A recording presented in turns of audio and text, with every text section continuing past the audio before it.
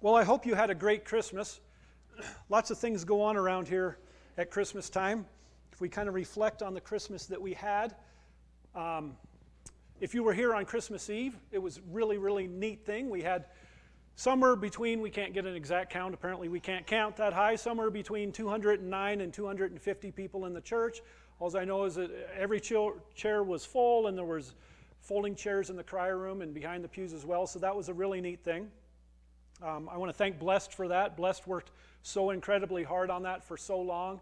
Um, under Sue's leadership, they did an amazing thing, so that was very, very cool. It was very exciting in the church. But then we, we kind of look into our, our personal lives, and lots of things happen around Christmas, and that is that family and friends come to visit us, some thankfully, some maybe not so thankfully.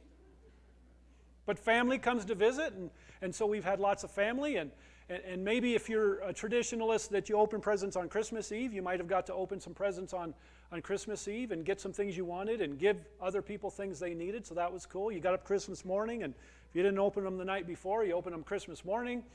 Then maybe you ate too much, which is something I did. You eat too much, and maybe some, I know not us because we're not that group, but some of us drink too much. Lots of nope, that's not us. We didn't do any of that. You drink too much, and and then you have to drive back home, and if you were out of town, you had to fight the weather because it seemed like the snow dumped just on Wiggins on Christmas Day, and everybody else was kind of clear. So we, we made it through Christmas, and then you just you just crash out Christmas night, and you're done, and, and then it's gone. And so now we, we stand in the aftermath of Christmas. Family has gone home. Again, some thankfully, some not so thankfully. We're on our diets already for the new year, right? We were already starting to think about those diets, that weight we're going to lose. For yeah, I see head shaking. We're going to, you know, get off all that stuff. Weight. We're on our diets. Um, kids have broken their toys already. Um, we have already planned strategically after church today how we're going to hit those stores to take back those gifts that we really don't want. Christmas is gone. Right? Well, according to the calendar, it is. What I want to talk to you today is about what happens in the aftermath of Christmas.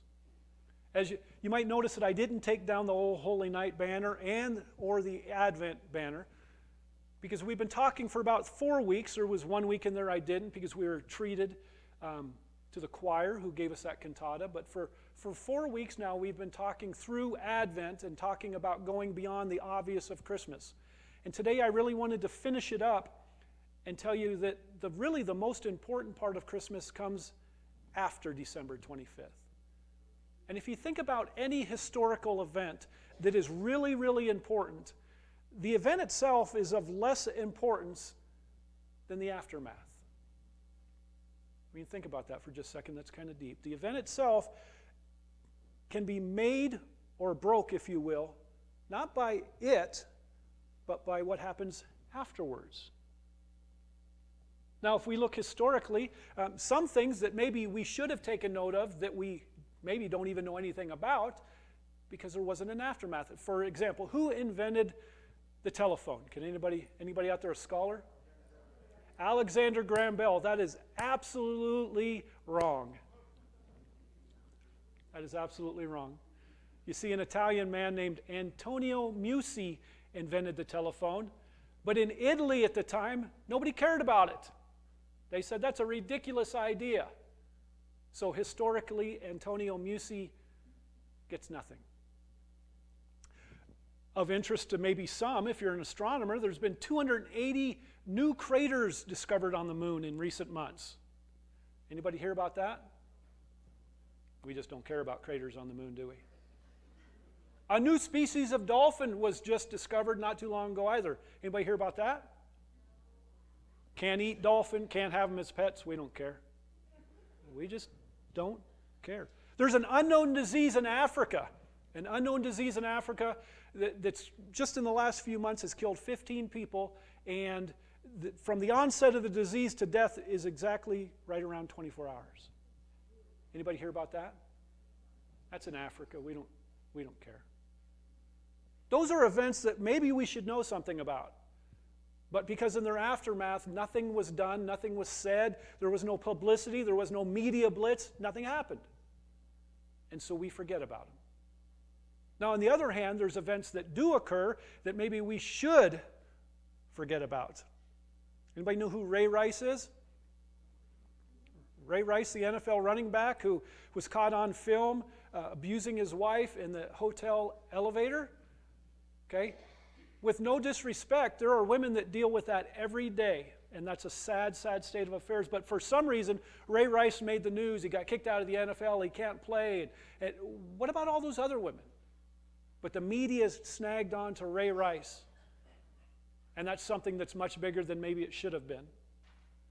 Donald Trump, anybody heard of Donald Trump? I don't want to get too deep into politics, so I'm going to try real hard here. Is Donald Trump as great a presidential hopeful as he makes himself out to be? Or does he just have the media and their attention? Yeah, you see, he is a master of media. That's how Donald Trump has made his billions, I suppose, by being able to manipulate people and manipulate the media. And so, while he may not be the best choice, we remember Donald Trump. We don't know Antonio Meucci. Who's got a cell phone out here? Okay, we don't know him, but we know Donald Trump. And then, if you think about any other fad that comes along over the course of history, whether you're 8 or 80, we've all had fads from bell bottoms to pet rocks to now hoverboards. What is determined after the fact is what makes or breaks something historically. And so, as we stand in the aftermath of Christmas, Christmas has come and has gone according to the calendar. And the importance of Christmas is determined not by what we celebrated two days ago, because it didn't happen two days ago, but by how we move forward with that celebration. Because Christmas happened 2,000 and some odd years ago. Its importance lies in what we do. And so as we stand in the aftermath of Christmas, that's exactly what I want to do is I want to talk to you about where do we go from now? What now? Are you ready for what comes now that Christmas is gone? Sure you are, because there's 363 calendar years until next Christmas, right? Just checking to see if you're paying attention. Some of us, that's how long it's going to take us to pay off those credit card bills. Minimum payment at 22% interest, you're good to go. 363 calendar days until next Christmas. So let's talk about it. And, and the way I want to talk to you and bring this to your attention today is through our scripture, of course, which um, Melissa read from, from the Gospel according to Matthew. And what we're going to see is that there are three distinctive groups of people in this text. And we can learn something from each of these three groups. And what these three groups teach us is what we are going to be faced with as we move forward after Christmas. So we're going to look at these three groups, and then we're going to kind of put it all together and see why that's so important to us as Christians in the church. So the first group of people we are going to call the worshipers. They are the worshipers, and they are represented in our text by the Magi.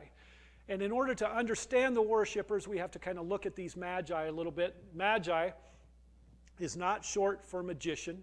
They were not sorcerers, um, black magic, voodoo. Um, they were not Wiccan. They were, they were nothing like that. Magi, actually, if you take that etymology of that word way, way, way back when, meant an astronomer. The Magi were scientists, they were astronomers. Men, and I suppose perhaps women, who looked at the sun and the moon and the stars and how they moved in a celestial way. So these magi, as our text tells us, who are scientists, uh, they hear these prophecies about this star. They, they, they read these prophecies about this star and they go in search of this baby Jesus who is to be born King of the Jews. And they come from the east. Where east? No one really knows. I, I tried to figure that out. You know, Persia, Mesopotamia. All we know is east. That's all that really matters. Is they came from the east, far off, and they traveled looking for this baby Jesus. Now, here's kind of a side note there were absolutely more than three magi.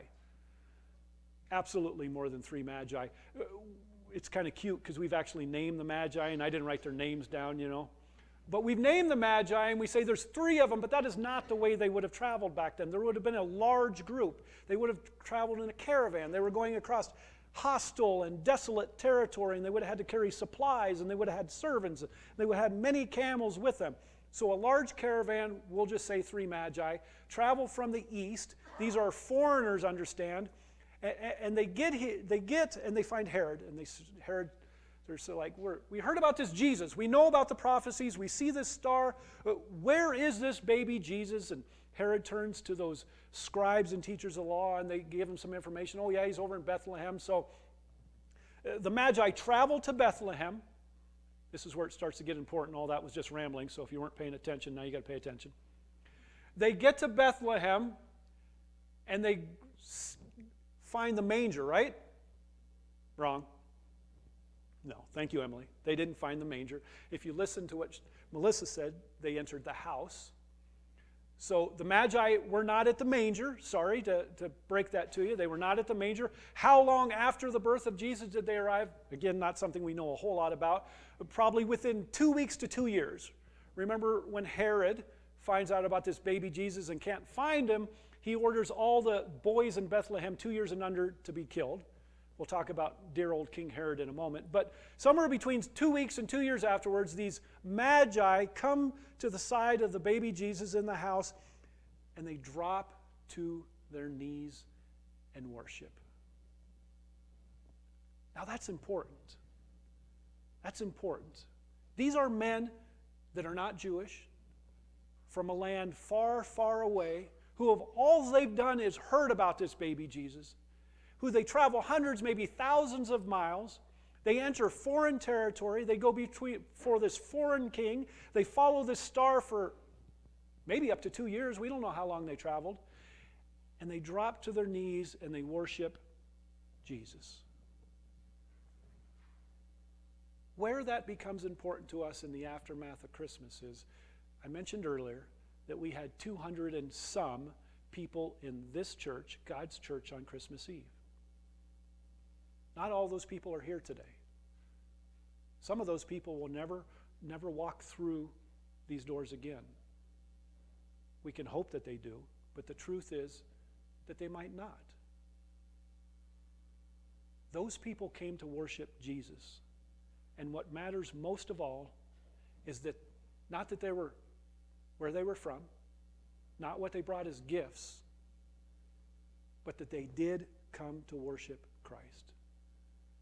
And so, in the aftermath of Christmas, as we think about those 200 and let's just say 230, so I have to quit saying some, 230 people that came into this church, are we ready to accept 230 people in this church every Sunday?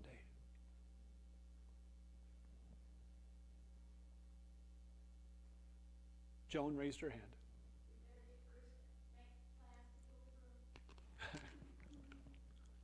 Well, and that's, that's part of the question. That's very good. But in the aftermath of Christmas, isn't our hope, and I've heard many people say it already today, isn't our hope in the aftermath of Christmas that we do fill 230 in the pews every Sunday from this point forward? I've heard people say it. I hope they all come back. New faces, that's great. But are we ready for that? Are we ready for the complications that are created because of that? If you were here at Christmas Eve, people were shoved into pews. People were sitting in folding chairs. If they 230 people were here this morning, now think about this for a second before you respond. You might not get to sit in that very special place that you sit in every Sunday.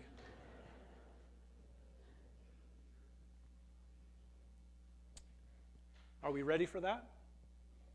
Not only that, but if you were here on Christmas Eve, you saw that there was a great diversity of people that filled this church.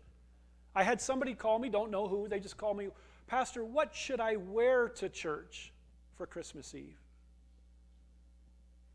Isn't the unsaid message that there's an expectation?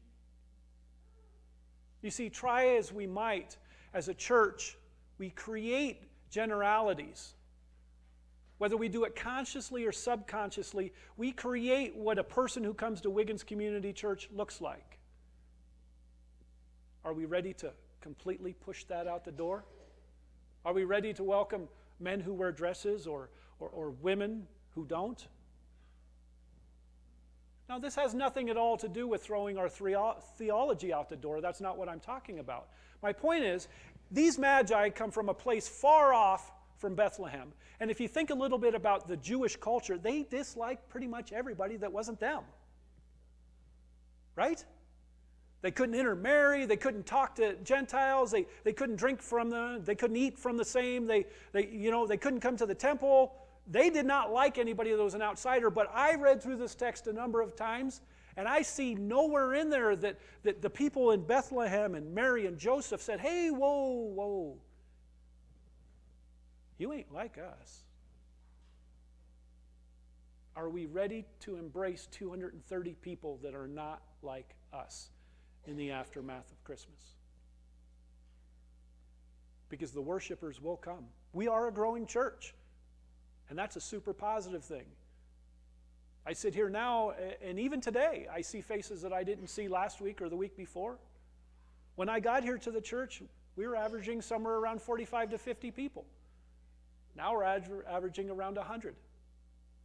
Are we ready to keep growing, and are we ready for the issues that will come because of that? The second group of people. The second group of people that we have to consider in the aftermath of Christmas is the opposition. The opposition. Now, the opposition is demonstrated in our text through King Herod, our lovely King Herod. King Herod, if you don't know about King Herod, was not a very nice man. King Herod, as the story goes, actually had his wife and two of his sons killed. He had them killed because he was afraid of losing the power that he so wanted. He was a man that was worried about power and fame for himself. Now, here's an interesting fact about King Herod, too. He was also half Jewish. So here's a man who's half Jewish, who knows the prophecies about Jesus and who he will be, this king of the Jews. And instead of embracing it, he becomes the opposition to Jesus. Now, we would like to believe that we live in a cheery little world where everything is all butterflies and cotton balls and everybody gets along. But are we ready for the opposition that will come? Because anytime there's change, anytime there's growth, anytime people come closer to Christ, it creates opposition. And so, as we think about Christmas and 230 people in the pews and what comes over the coming year, are we ready for the opposition? King Herod tells the Magi, hey, you guys go over there and find him and you talk with him, and when you're done visiting the baby Jesus, come back so that I may worship him. Right. See, there's something important to know about the opposition. We, we like to think that the opposition is out there. And there is opposition out there, and we all know about the opposition out there. Those are the people that won't come in here. Those are the people that argue with you about Jesus and all things Christianity. Uh, they don't want nothing to do with it. They'll tell you it's foolish, they'll tell you it's silly. And isn't it strange how these people that argue so vehemently against Christianity know so much about it? Isn't that kind of strange? Just like King Herod.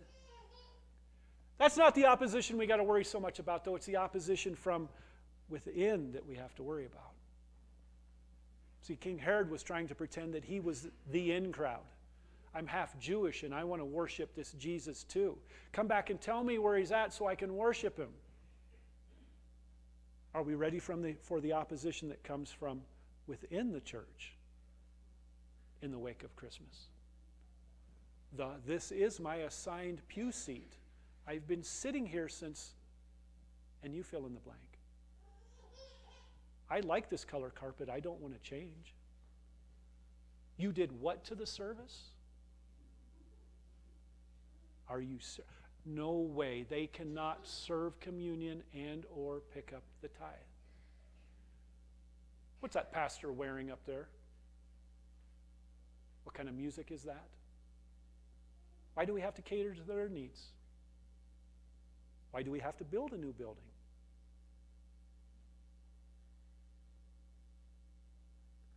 If you think it's just starting because I just mentioned it, then you should walk around with me for about a week.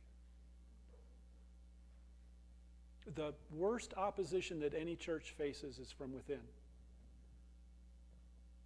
We can see all that coming from out there.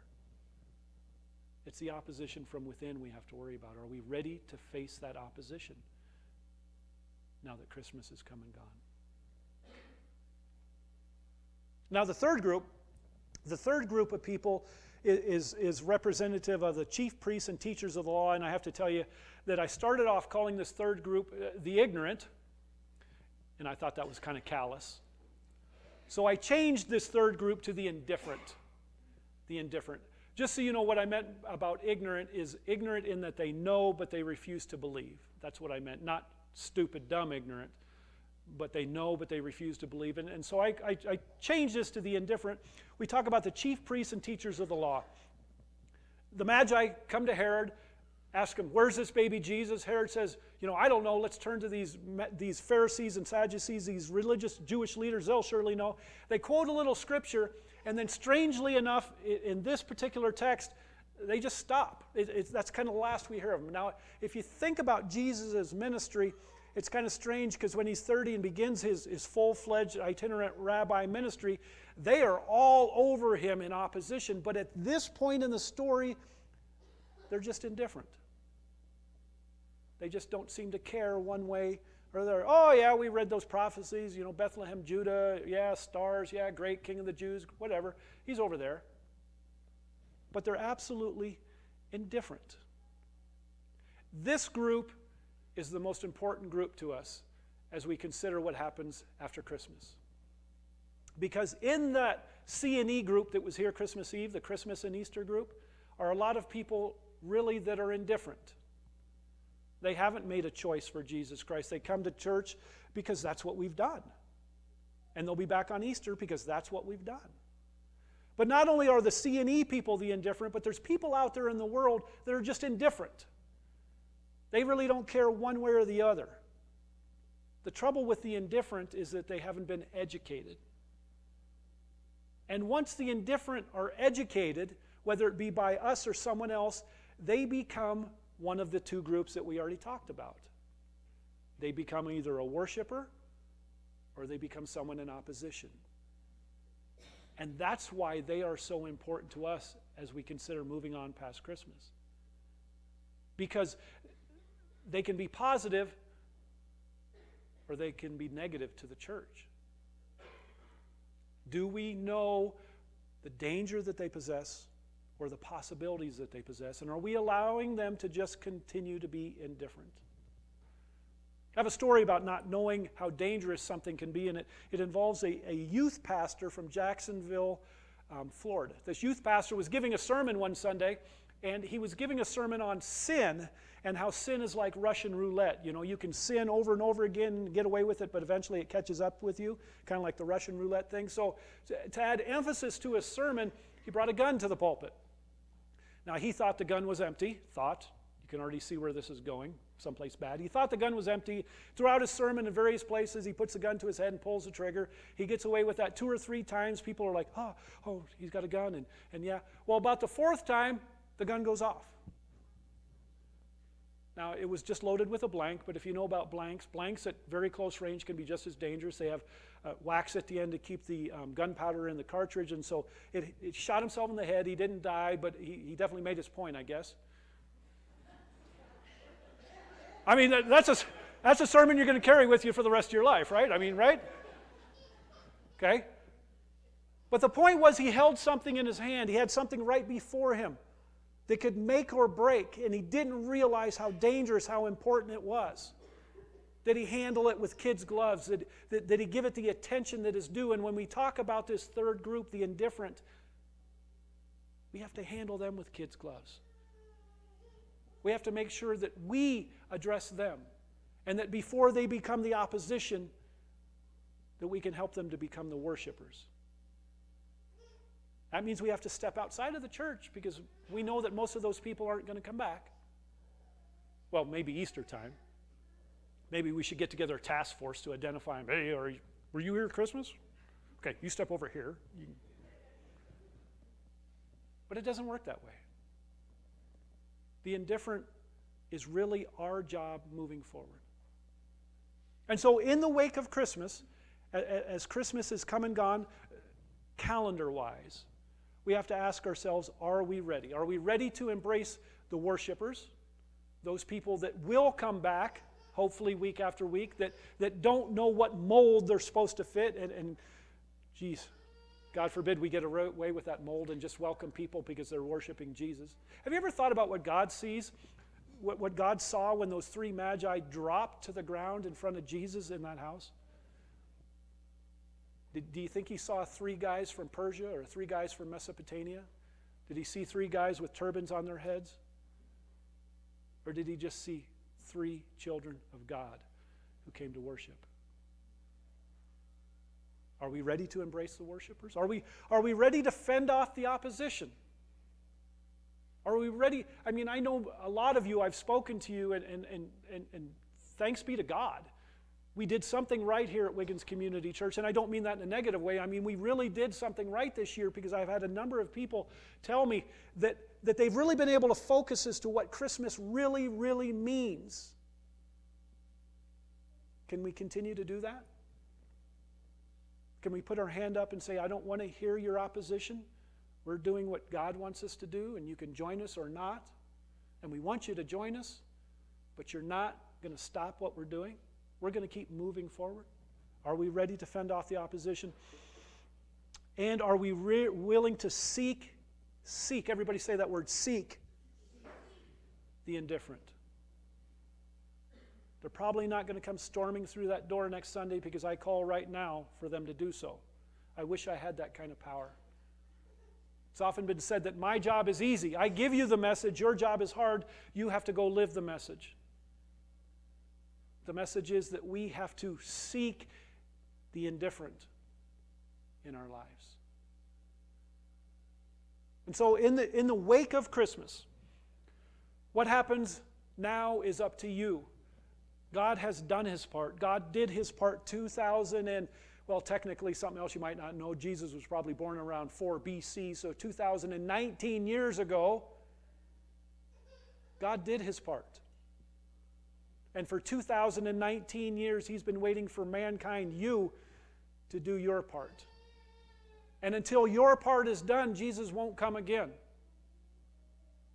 Are you ready for all of that? In the aftermath of Christmas. Because either it's just a day on the calendar with 363 more days to go, or it's the greatest single event in the history of mankind which calls us to do something about it every day of our lives. Let us pray.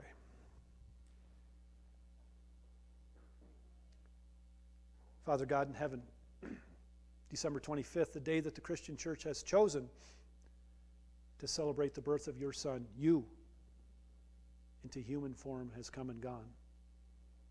We know now that the job is up to us. We need to welcome the worshipers. We need to fend off the opposition, and we need to seek out the indifferent. I ask for strength for every person here today. That in the coming days, weeks, months and years of their lives. That they never forget the truly important part of Christmas, and that is what we do after it has come and gone. It is through Jesus Christ that all the Lord's people say, Amen. I invite the musicians to come forward. We have one song left to sing. Um, it features Valerie Sandoval on a solo. It is called Overcome, so I invite you to stand as you are able and please join us in singing.